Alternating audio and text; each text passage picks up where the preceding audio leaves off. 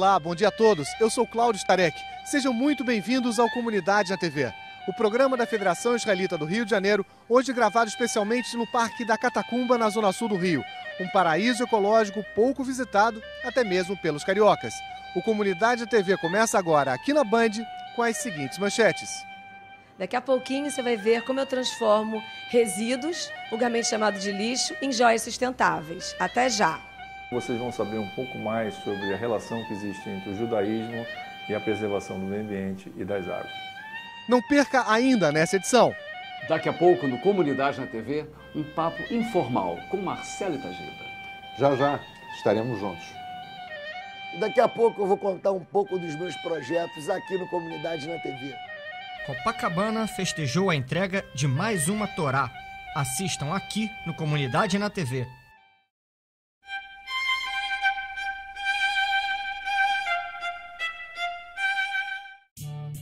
Israel é um país onde a natureza é valorizada e tudo que está relacionado ao meio ambiente é preservado. Há 110 anos, antes mesmo da criação do Estado, já se falava em reflorestamento. O cuidado com a terra, as árvores e a água são itens que sempre estão no dia a dia dos israelenses. No mês que o Rio de Janeiro cedia a Rio a cidade vai receber também uma delegação de Israel, coordenada por Gilad Erdan, ministro da Proteção do Meio Ambiente do país, que vem trazer novidades e discutir o tema com as outras delegações. E qual é a relação da religião judaica com a natureza? No momento que Deus criou o primeiro homem, ele mostrou todas as árvores e disse: Veja como são bonitas e louváveis, e tudo isso foi criado por sua causa, então não destrua. Relacionando a essa questão de meio ambiente e uso da água ao judaísmo, dizer, o judaísmo sempre teve há milênios a questão da responsabilidade social. Eu acho que essa responsabilidade social ela envolve também hoje a responsabilidade ambiental. Então todos nós devemos cuidar uh, dos recursos naturais e do meio ambiente, da natureza. A plantação da primeira floresta em Israel foi em 1908 e de lá para cá o cuidado com a terra só aumentou. Uma das proibições que estão na Torá é a de se comer os frutos de uma árvore durante os três primeiros anos de sua existência. Uma árvore jovem precisa de tempo para espalhar seus ramos, aprofundar suas raízes e tornar-se produtiva. A água também é muito valorizada no país. É difícil de se ver pessoas desperdiçando este bem no dia a dia, já que a falta de chuvas é um dos desafios que o país enfrenta, além de ser cercado por desertos. A questão da água envolve, é, muitas vezes, a noção que as pessoas têm de que os problemas do meio ambiente são relacionados ao governo. Quando, na verdade, muitos desses problemas é, envolvem é, o nosso uso dos recursos. E a água é um bom exemplo. o desperdício que a gente tem no dia a dia, na nossa casa, o mau uso, o uso incorreto da água, provoca individualmente um, um um uso inadequado desse recurso que é importantíssimo uh, para todos nós. No mês que o Rio de Janeiro receberá diversas autoridades e representantes de países para debater sobre meio ambiente e sustentabilidade, Israel também vai mostrar aqui suas inovações e experiências na área ambiental.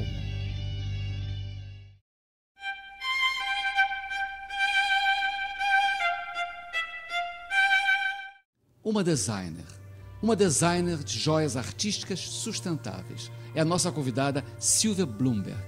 Silvia, como é que você se interessou por esse tipo de design? É, o judeu, desde sempre, ele é obrigatório ser sustentável. Eu, eu tenho refletido bastante porque a palavra sustentabilidade, na verdade, ela não tem todo o conteúdo que formata o pensamento do judeu em relação ao meio ambiente. Eu vou dar só um exemplo de uma das minhas conclusões. Por exemplo, quando o menino judeu nasce, ele tem uma semana para ser circuncisado. Essa circuncisão, a gente talvez nunca tenha pensado nisso, é, é um ato de sustentabilidade para a saúde e higiene desse homem no futuro e para a saúde da mulher que virá ser desse homem. Então, a sustentabilidade ela envolve o bem-estar, ela envolve a maneira que nós é, conduzimos os recursos do meio ambiente, porque quando você nasce, você está já gastando recursos. E na medida que você consegue ter uma racionalização desse recurso, você pensa nas futuras gerações que vão poder também usufruir da beleza que é o nosso planeta Terra, que cada dia mais não está tendo como responder às necessidades que todos os povos querem ser confortáveis e não estão tendo a racionalidade de utilizar os seus recursos. Silvia, quais são os materiais que você usa no seu trabalho? Eu tenho conseguido atingir cimento branco que sobra da obra, todo, toda obra tem sobra. Essa sobra, se não for bem é, conduzida, ela pode ir, entupir se a gestão dela não for sustentável. E a partir daí eu crio já de cimento, cimento branco eu tinjo com elementos da natureza, como beterraba, maracujá, morango, que a minha nova coleção agora do verão vai ser completamente colorida, com tudo natural.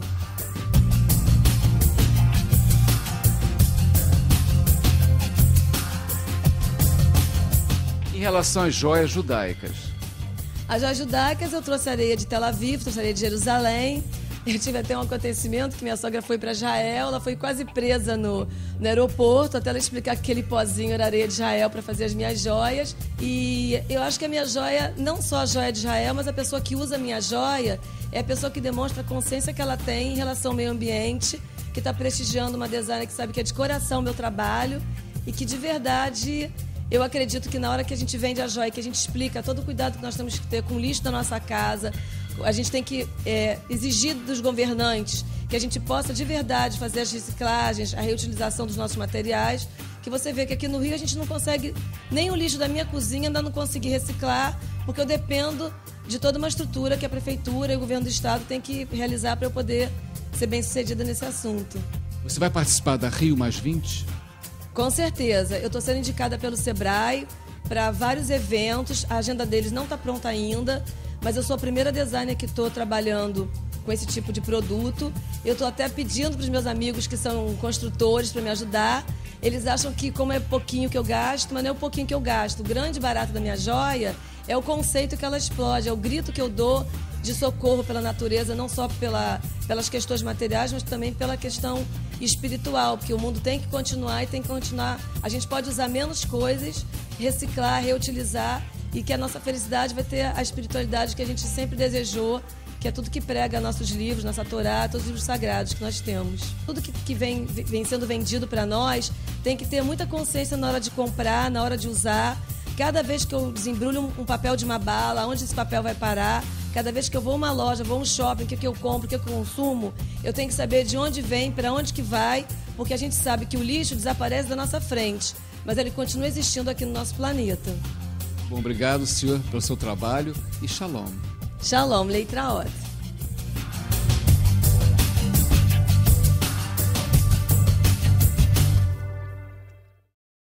Vejam no próximo bloco uma entrevista com Marcelo Arar e Marcelo Itagiba sobre a cidade do Rio de Janeiro.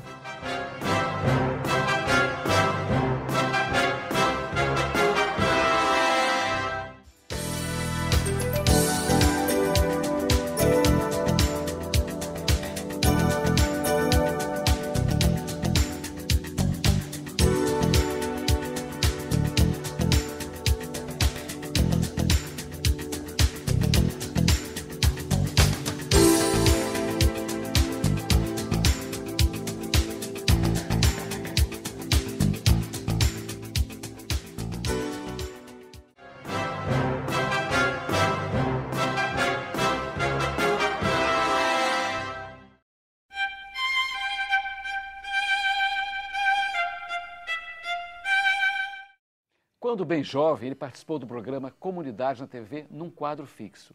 Ele se preocupa muito com o jovem. Eu estou falando de Marcelo Arar. Marcelo, prazer receber no nosso programa. E eu queria saber realmente, a partir de que momento você se preocupou com os jovens? Eu comecei falando com o público que eu tinha grande identificação e até hoje eu levanto a bandeira no jovem, do, do jovem. É, um ano e meio que eu estive na Câmara de Vereadores, é, eu fiz inúmeras leis, vale a pena dar destaque a, a, a lei da, do criação, da criação do bairro da Lapa, que até então não era um bairro, era apenas um, uma área do centro da cidade. E a Lapa é uma grife conhecida nacionalmente e até mundialmente por um público jovem muito grande, é um, é um dos maiores pontos turísticos do nosso país. Aí vem também a, a lei do primeiro emprego, que eu sempre bati muito na tecla. na, no período que eu estive como vereador na Câmara dos Vereadores. E eu sempre vou estar levantando essa bandeira com todo respeito a, a todas as idades, porque na realidade eu acho que vale o, é o, é o, é o espírito da pessoa, não há nada mais importante do que o espírito jovem, mas é claro que temos que investir no jovem porque o, o futuro está na mão dele. O seu último projeto foi capa da revista Rio Show do Globo. Quais serão seus futuros projetos? E meus futuros projetos é continuar lutando pelo jovem. Uma outra grande conquista, além do bairro da Lapa, foi a meia entrada para o curso profissionalizante. Até então, a, a lei histórica criada pelo, pelo deputado Edson Santos na década de 90, que dava direito à meia entrada ao estudante de faculdade e de colégio, não estendia esse direito aos estudantes de curso profissionalizante, ao pessoal que estuda no Senai, no Cefet, no Senac. E na Câmara, esse um ano que eu fiquei foi uma grande conquista ter estendido esse direito ao, ao, aos estudantes do curso técnico. Então, é, os próximos projetos é, vão ser sempre ligados é, é, muito ao jovem, que eu considero que, que o jovem é, é, é muito importante para o nosso futuro. O primeiro emprego, bater bastante na tecla do primeiro emprego, bater bastante na tecla do entretenimento. Mas, Fernando, não um entretenimento simplesmente é, pela festa, mas um entretenimento é, alavancando o turismo, que o, que o Rio de Janeiro, a grande vocação do Rio de Janeiro é o turismo. E quando você fala de turismo, você alavanca a economia. Então, é, é, é mais ou menos por essa linha. Bom, obrigado, Marcelo, por esse teu papo, essa sua preocupação e um cordial shalom. Eu que te agradeço de coração por tudo, agradeço a você, telespectador do Comunidade da TV, e shalom para todos, muita paz, paz, claro, no Oriente Médio, e paz também para esse Rio de Janeiro que agora está pacificado e, e, com certeza só estão vindo coisas boas e vibrações positivas para a nossa cidade maravilhosa.